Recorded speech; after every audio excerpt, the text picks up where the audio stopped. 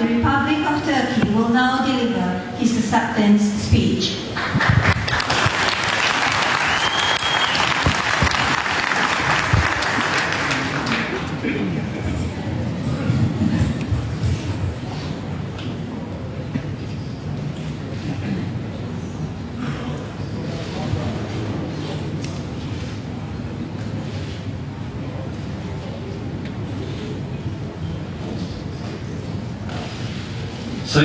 Üniversite Başkanı, değerli rektör, değerli dekan, üniversitenin değerli mensupları, saygıdeğer hocaları, değerli öğrenciler, hanımefendiler, beyefendiler, Esselamu Aleyküm ve Rahmetullahi ve Berekatuhu.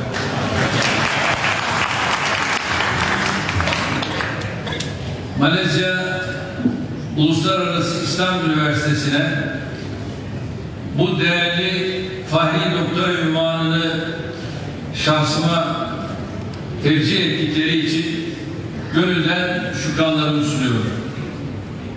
Bu anlamlı ünvanın Türkiye ile Malezya arasında köklü, derin ve çok boyutlu işbirliğinin bir sembolü, bir simgesi olmasını, ülke ve halklarımızı birbirine daha da yakınlaştırması için bir vasıta, bir vesile olmasını Rabbimden niyaz ediyorum. Sayın Mahathir Muhammed'in kuruluşuna öncelik ettiği Malezya Uluslararası İslam Üniversitesi yakın çalışma arkadaşlarından bazıları olmak üzere çok sayıda Türkiye vatandaşı için bir eğitim ve öğretim yuvası oldu. Bu ilim yuvasının çatısı altında özellikle sosyal ve İslami bilimler alanlarında çok önemli çalışmalar ve araştırmalar yapıldı. Bir dönem özellikle Türkiye'de üniversite öğrencileri üzerinde ciddi baskılar, yasaklama ve kısıtlamalar varken Malezya ve üniversiteleri çok sayıda öğrencimiz için özgürce eğitim görecekleri bir yer oldu. Şu anda hamdolsun üniversitelerimizde eğitim sistemimizde böyle anlamsız yasaklar ve kısıtlamalar yok. Her alanda eğitimi, eğitim alma imkanını ve eğitime ulaşma fırsatını geliştirdik. Anlamsız yasakları kaldırdık. Eğitimin özgürleşmesi için tarihi nitelikte adımlar attık.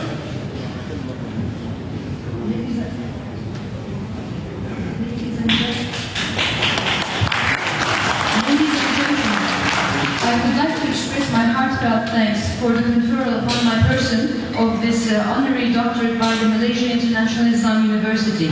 And this I hope and believe, and I pray Allah that this meaningful title will be very important as a symbol of the multidimensional, deep-rooted cooperation between Turkey and Malaysia, and that it will bring the peoples of our countries and our countries closer together. The Malaysia International Islam University, which has been, uh, whose establishment has been pioneered by Mr. Mahathir Mohamad, has been very important as a home of and place of learning for many Turkish citizens, including some of my colleagues. And under this house of learning, there have been important activities and research carried out in the area of Islamic sciences and social sciences. This was, there was a period, especially in Turkey, where there and bans and restrictions on university students. And at that time, many of our students came to Malaysia and its universities where they could receive uh, education freely. We pray Allah and thank Allah now, we thank Allah now that these uh, bans or restrictions, meaningless bans and restrictions in our education system have been removed. And we have been working together in terms of education and the means to access education during our tenure, and we have removed these meaningless restrictions, and we have taken some historical steps in terms terms of making sure that education is free for all. And in these difficult times, Malaysia and Malaysian universities have always been with us.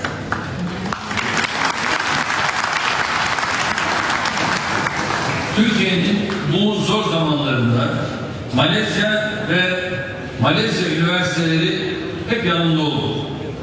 Birçok öğrencimiz Malezya üniversitelerini kendi inancını, kendi değerlerini muhafaza ederek okuyabileceği okullar olarak gördü ve geldi burada eğitimlerini aldı.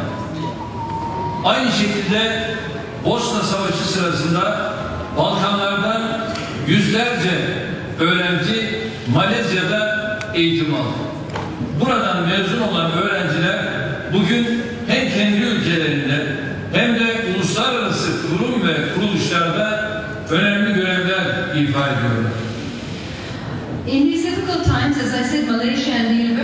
Malaysia have always stood by us, and many of our students came to universities in Malaysia so that they can uh, have education uh, also in according to their beliefs and by maintaining their own values, and they completed their education here. At the same time, during the war in Bosnia, there were hundreds of uh, students who came from the Balkans to Malaysia to receive education here. Aslında burada ibret almamızı gerektiren bir hikmet var. İlahi mesaj şunu söylüyor. Sizin şer gördüklerinizde hayır, hayır gördüklerinizde şer vardır. And many of the students who graduated uh, from the universities here are now serving in important positions in their univers- in their countries and in their international organizations. There is in fact a lesson to be learned from all of this. The divine message says that in things that you see uh, as evil, always some good, and there is always some evil in things that you see as good.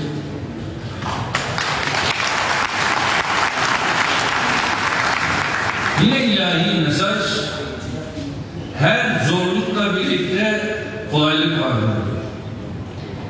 And again, the divine message says that there is, with every challenge, some way to break through and overcome those difficulties. Türkiye'de bizim genç üniversite öğrencilerimiz işte bunu iliklerine kadar yaşadılar. Öyle zamanlar oldu ki zulüm bütün renkleriyle, bütün boyutlarıyla gelip üzerine çökerdi. Young university students in Turkey have lived through that, uh, that situation to their bones. There were times when all the colors and dimensions of the oppression that they felt cast upon them like a big cloud. Hiçbir çıkış kapısının olmadığını zannedersiniz. O ateşten bir çıkışın mümkün olmadığını düşünürsünüz. Daralırsınız. Ruhunuz, kalbiniz adeta bir cenderenin altındaymış gibi hissedersiniz. Ama Allah öyle bir çıkış kapısı açar, bulutları öyle bir aralar, kalbinize öyle bir inşirah, öyle bir rahatlama salar ki eski halinizden çok daha ferah bir hale evrilirsiniz. In such situations, you may think that there is no way out, that you think that there is no way to take you away from this fire, this difficulty, and you feel very oppressed in your heart and in your spirit, and you feel this oppression deep in yourself. But at times like this, Allah shows you a way out in such a way that you see all of a sudden the clouds go away and a feeling of relaxation, a feeling of comfort feel your heart, fill your heart, and in that way you feel so much better than you did under that time of oppression.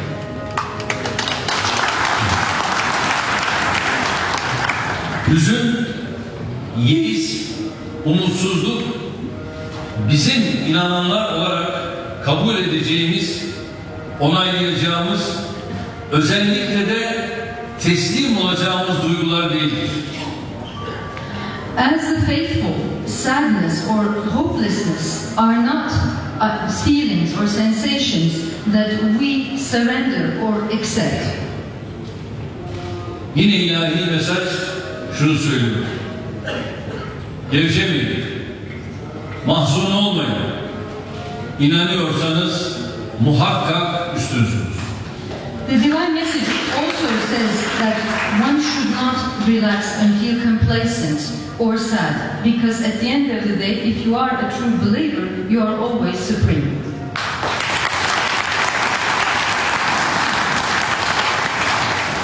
Evet, bizim ölçümüz budur.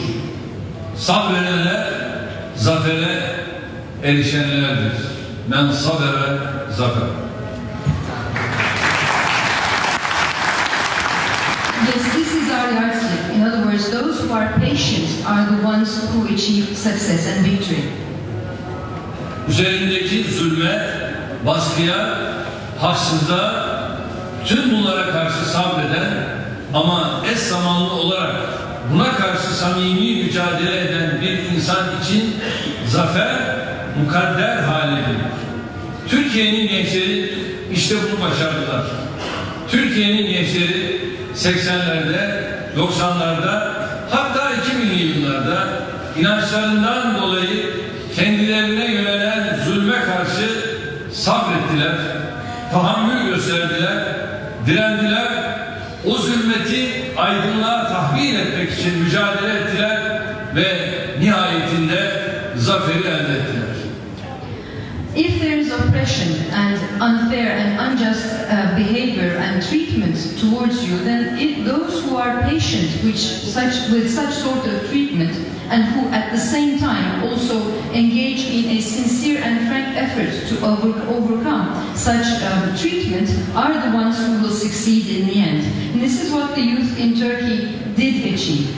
In the 80s and 90s, even in the 2000s, the people, the young people in Turkey, were very patient with the kind of oppression that they had to face because of their faith. They tolerated and they resisted that kind of oppression, and they worked to ensure that it would be converted into enlightenment, and they finally achieved this goal.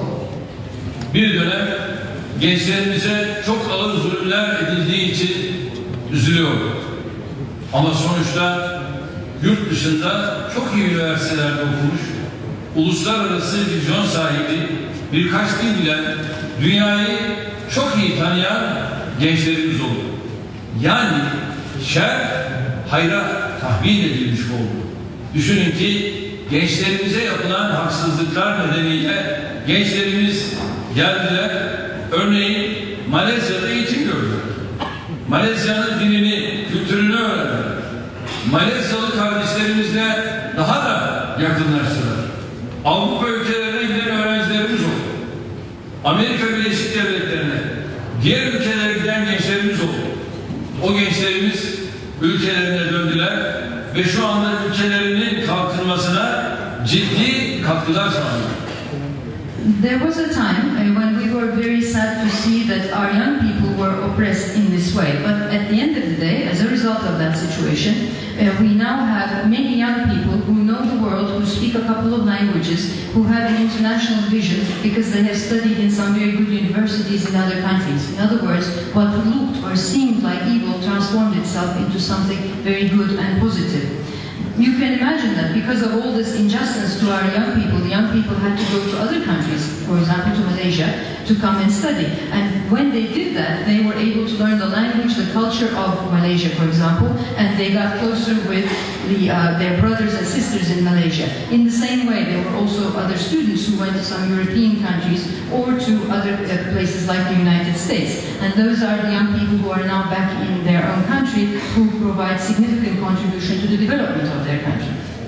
Türkiye'nin 11 yıl içinde hükümetimiz döneminde elde ettiği başarılar işte bu donanımlı, birikimli gençlerin omuzlarında yükseldi. And the success uh, that Turkey has achieved in the 11 years of our government has actually been possible on the shoulders of these well-equipped and well-informed young people. Bu süreçte biz şunu da bir kez daha ispat etme imkanı bulduk. Demek ki başörtüsü bilimin önünde bir engel değilmiş.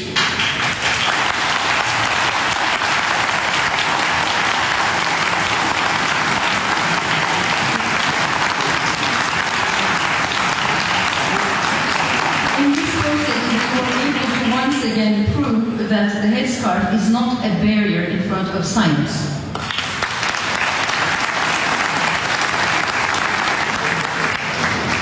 Demek ki inançlar, değerler bilimin önünde bir engel değilmiş.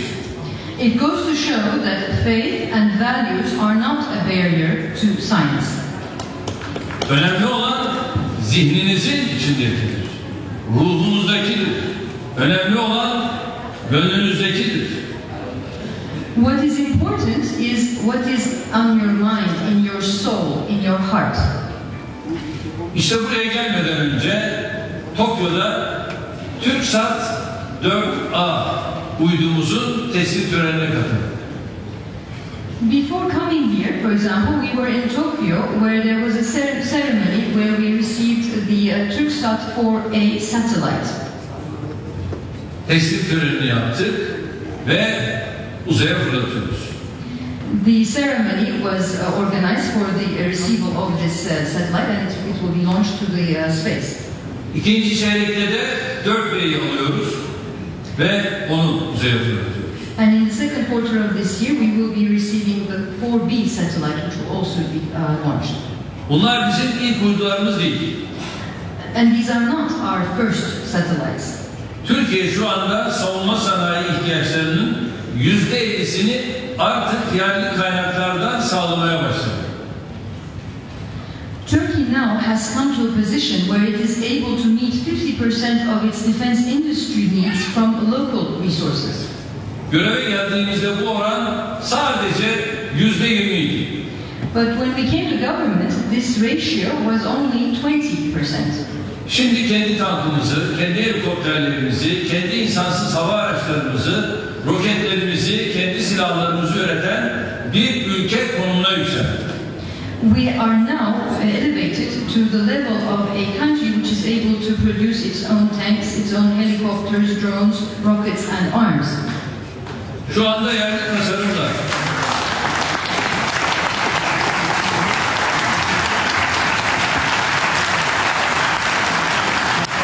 Şu anda yerli tasarımla kendi mühendislerimizle savaş gemilerimizi imal ediyoruz ve şu ana kadar iki savaş gemisini tamamladık. Denizlerimize gönderdik. Şu anda altı tanesini de kısa çekiyoruz ve onları da kısa zamanda bitirerek onları da denizlere inşallah göndereceğiz, uğurlayacağız. We are at the moment uh, manufacturing our own warships with the contributions of our uh, local engineers and our own designs and designers. And so we, so far we have completed two of these warships, and they are now at sea. We're also working on six more uh, warships, which inshallah will also be completed soon. Şimdi Malezya'nın 2020 hedefleri var. Bizim de 2023 hedeflerimiz var.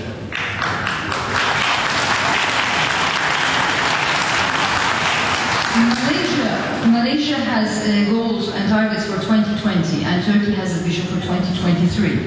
Malezya'nın 2020 hedeflerini okudum. 2023 hedeflerimizle müşterek yanlar olduğunu gördüm. I reviewed the uh, goals and vision of Malaysia 2020 and I saw and I realized that there are many things that are in common with Turkey's vision for 2023. 2023'e kadar kendi savaş uçaklarını imal eden, kendi uydularını imal edip uzaya fırlatabilen bir ülke konumuna yükselmeyi hedefliyoruz ki bu hedefe de ulaşacağımıza ben yürekten inanıyorum.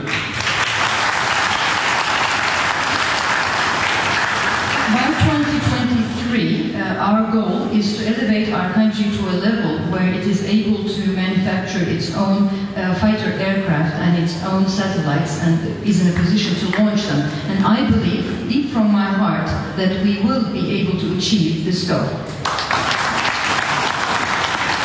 Bugün Japonya'da uydumuzu sadece Japon teknisyen ve mühendisler değil, onlarla birlikte genç Türkler ürettiler. Today, um, the, our satellite, which was uh, manufactured in Japan, was not uh, manufactured only by the uh, contributions of the Japanese technicians and uh, engineers. There were young Turkish people who also contributed to that effort. 30'a yakın genç mühendislerimiz şimdi yurda dönecekler. Bu sahada çok daha ileri çalışmaları yaparak uydu imal ve fırlatılması, e, fırlatılmasında dışa bağımlılığımızı inşallah sona erdireceğiz. These close to 30 young people who were involved in this effort will now be returning to Turkey and they will be working in this very area for further studies so that inshallah they will ensure that we end any kind of dependence on other countries with respect to the manufacturing and launching of satellites. Burada söylemek istediğim şudur. Bilimin özünde, ruhunda, temelinde özgürlük vardır. To tell you here is that in the essence of uh, science, the spirit soul of uh, science comes through freedom. Özgürlüğün olmadığı yerde bilim olmaz. Oradan hür düşünce doğmaz. Oradan insanlığa yarar sağlayacak, insanlığın refahını artıracak, insanı hikmete ulaştıracak sonuçlar çıkmaz. In other words, in a place where there is no freedom, then one speak of science or free thought or anything that will benefit mankind as a whole, increase and grow the prosperity of people and uh, make them better. Bakın Malezya'nın da Türkiye'nin de ortak medeniyetinde ilim özgürlüğün olabildiğince geniş olduğu ortamlarda hayat bulmuş, filizlenmiş, gelişmiş, çınara dönüşmüştür.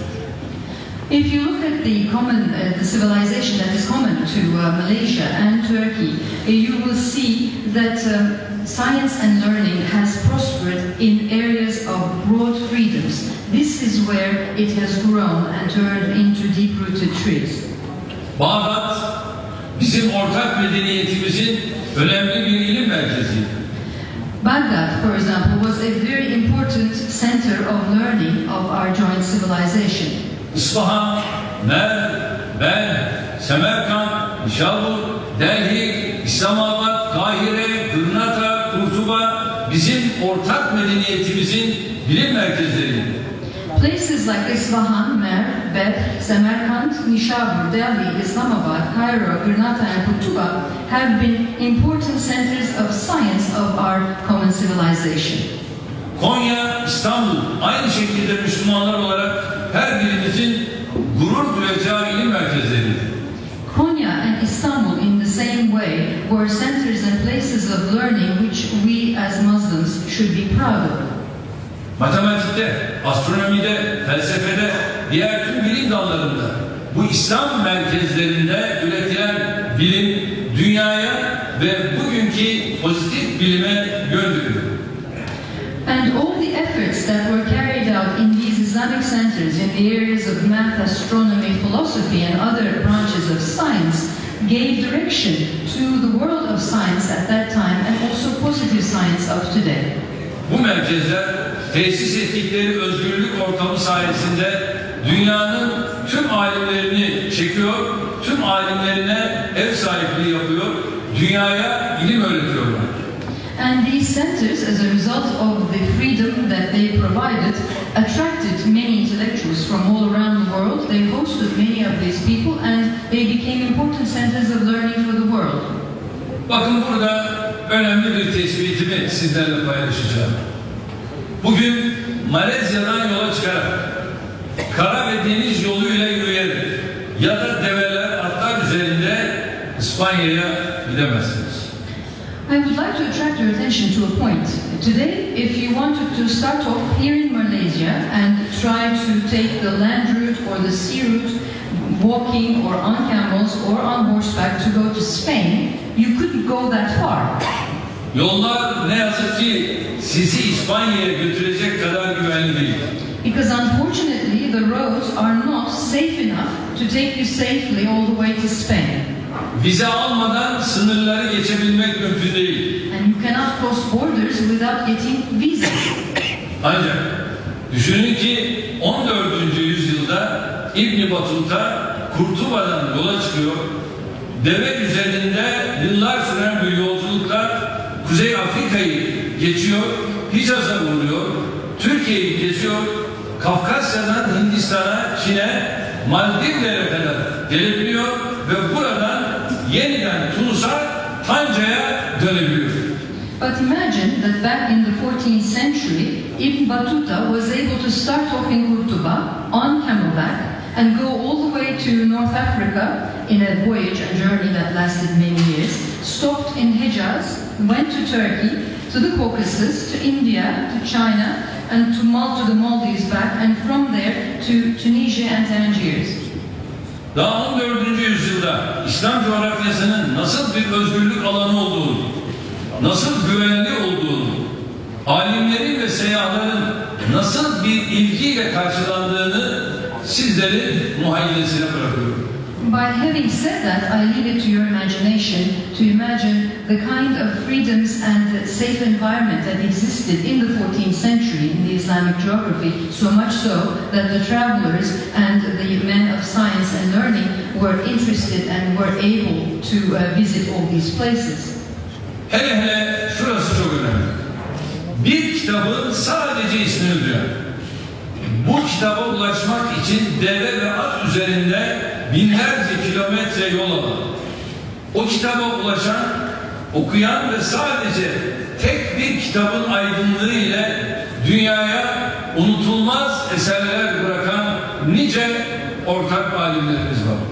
And let me also attract your attention to another important point, because at that time there were important uh, men of science and learning who left behind many important and unforgettable books afterwards, because they had agreed to embark upon a voyage on horseback or camelback and, and in some cases for thousands of kilometers just to have access and read maybe one book and that one book was then able to provide them with the kind of insight which led them to leave the important uh, pieces of work that they did leave behind.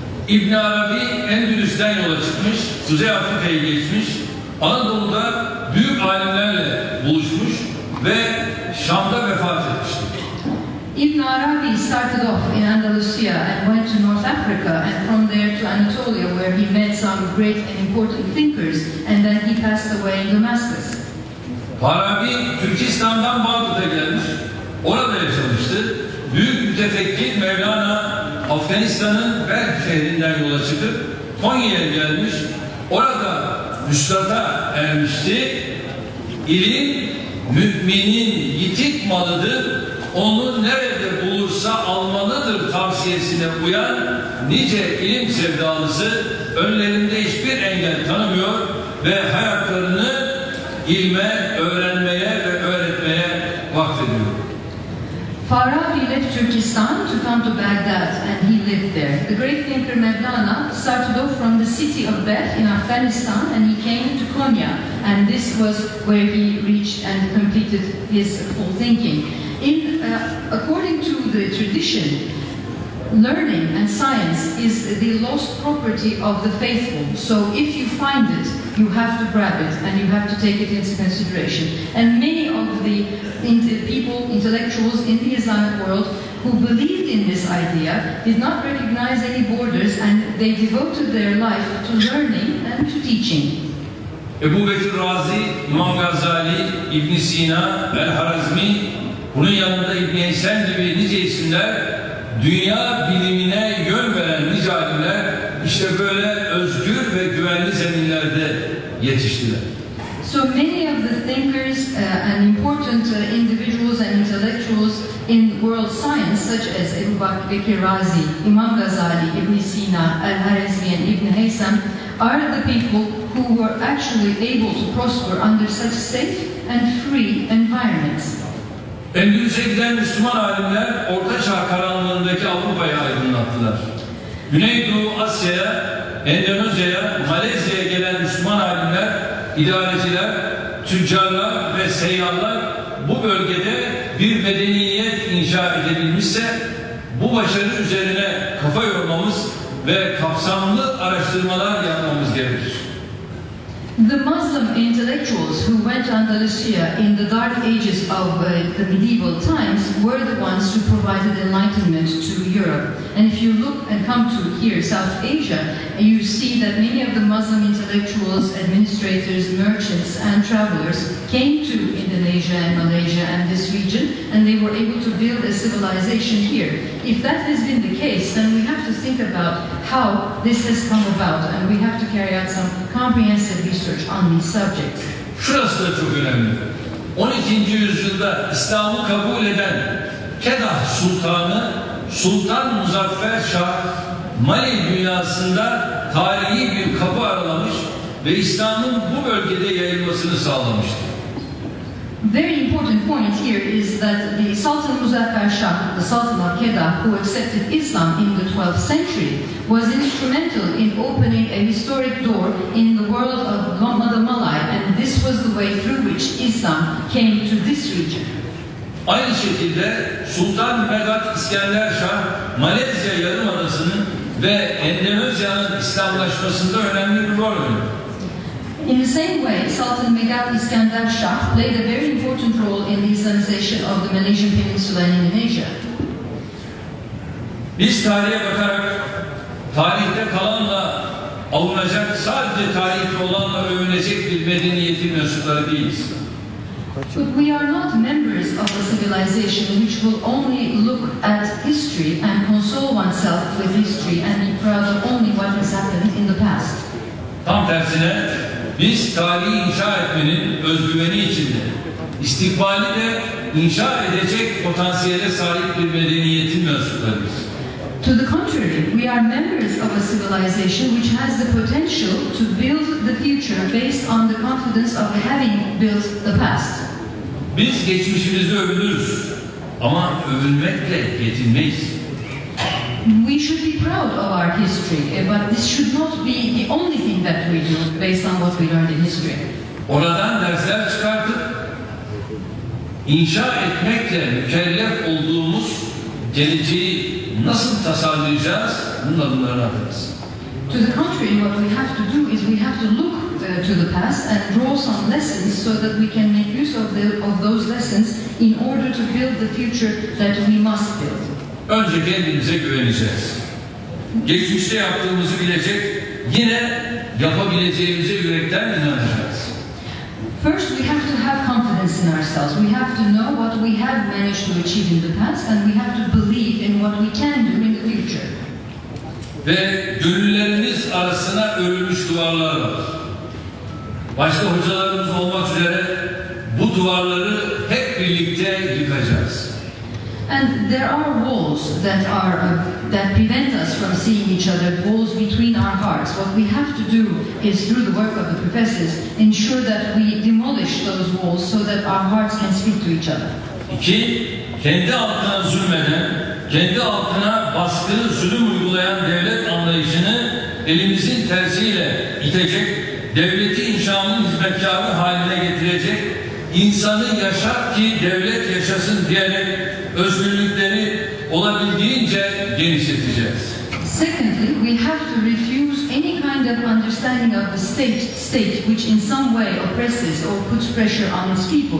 To the contrary, we have to make sure that we can broaden the areas of freedoms so that the state serves its people and that the fact that the state can only live by the presence of the people can be foreseen. Bütün bu coğrafyada uhuvveti, muhabbeti, dayanışmayı azami düzeyde tesis edeceğiz. Bu manada Malezya'nın son 30 yılda özellikle eğitim öğretim alanında attığı adımları takdir ettiğimizi belirtmek isterim. Malezya'nın ekonomik başarısının ve sosyal barışının altında bu eğitim altyapısının olduğunu biliyorum. Bütün Malezya İslam ülkeleri arasında ve Güneydoğu Asya toplumları arasında müstesna bir yere sahip. Çok kültürlü yapısı, ekonomik dinamizmi, siyasi istikrarı ve dünyaya açık perspektifiyle Malezya'nın bundan sonra da büyüme trendini devam ettireceğini biliyorum. Biz Malezya'yı uzakta bir ülke olarak görmüyoruz. Siyasi, diplomatik, ekonomik, kültürel, bilimsel ve eğitim alanlarında beraber atacağımız ne Türkiye Malezya'ya uzaktır ne de Malezya Türkiye'ye uzaktır. We will work to ensure that we can create greater brotherhood and friendship and solidarity in this geography. In that sense, let me express our appreciation for the important efforts that Malaysia has undertaken in the area of education in the last 30 years. I know that this uh, infrastructure of education has been instrumental in the economic success and social peace in Malaysia. Today, Malaysia has a very exceptional place amongst Muslim countries and Southeast Asian societies. And in that sense, I do know that uh, Malaysia will continue along this growth trend with its multicultural structure, economic dynamism, and political stability, and its uh, open, its perspective, which is open to the rest of the world. And as such, we do not see Malaysia as a country which is situated at a long and far away distance from Turkey, because we believe that there are many steps that we can take jointly with Malaysia in political, diplomatic, economic, cultural, scientific areas and in the area of education. And therefore, Malaysia is not too far away from Turkey, and Turkey is not too far away from Malaysia.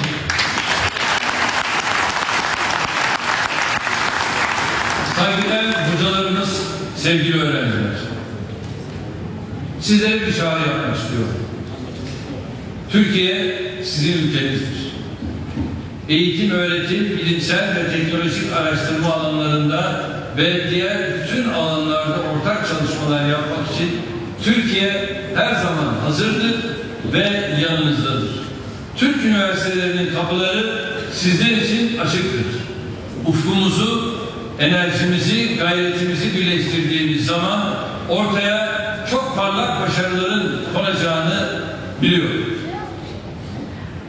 Dear students and dear professors, I have a call to make from this rostrum to you. I would like to tell all of our Malaysian friends here that Turkey is also your country. And Turkey is always standing ready and with you in order to carry out joint activities in many areas in education and scientific and technological research. And in that sense, we are doors, the doors of our Turkish universities are open to you. And I do know and I believe that through your vision, your energy and efforts, when joined with our energy, our vision and efforts, we can come up with very bright and successful projects.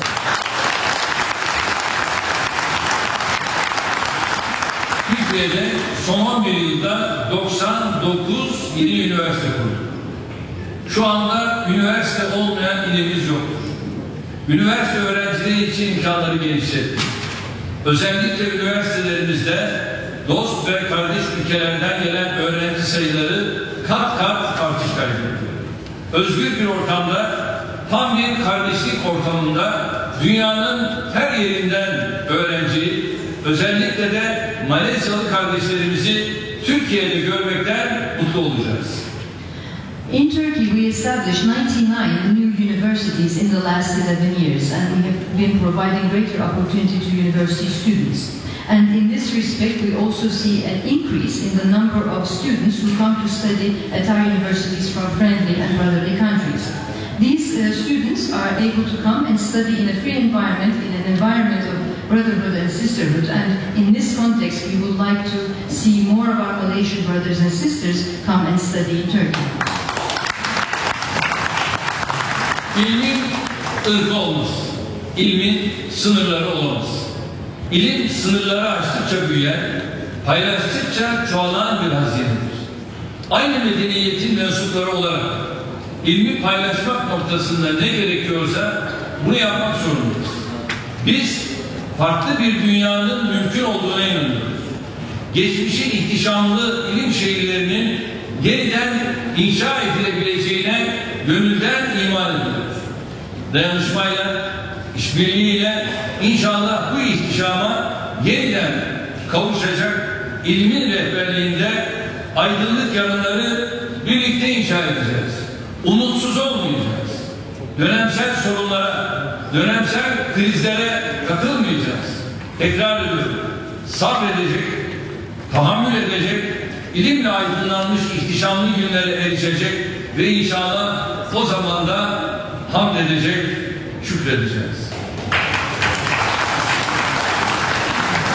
Science and learning does not recognize any borders. It does not have any race. In fact, science and learning is a treasure which grows uh, considerably as it crosses borders.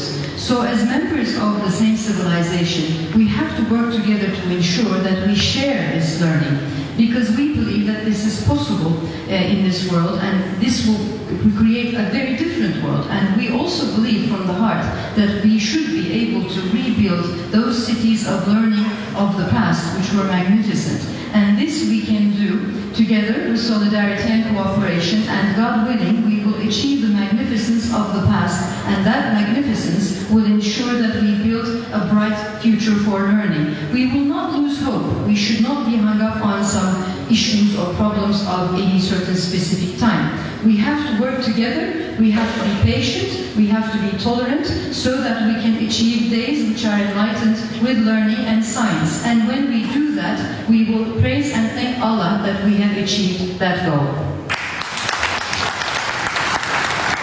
Bir kez daha bu anlamlı Fahri Doktora ünvanından dolayı Malezya Uluslararası İslam Üniversitesi'ne teşekkür ediyorum. Tüm akademisyenlere, tüm öğrencilere başarılar diliyorum. Rabbim Malezya ile Türkiye'nin kuvvetini, muhabbetini artırsın. İnşallah daim kılsın diyor. Ve Medeniyetler İttifakı yürüyüşünde de Nasır kardeşime de burada huzurlarınızda ayrıca teşekkür ediyorum.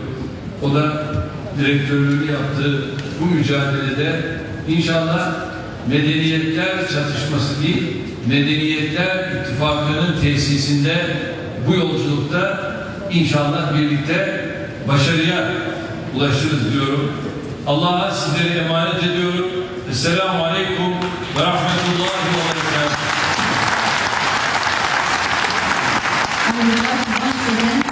the Malaysia International Islam University for this honorary doctorate degree, which is very meaningful to me. I thank all the academicians and students.